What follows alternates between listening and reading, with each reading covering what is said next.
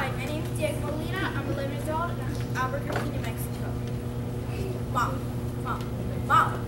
Last night I had a dream of the jungle. It was Tarzan. Oh! Oh, yeah. I had a little cheetah towel as rings. I was covered in blood. Kinda looked like cow poo. Anyways, that's not my strange dream. I was on my way to talk to the elephant. The baby monkey jumped on my back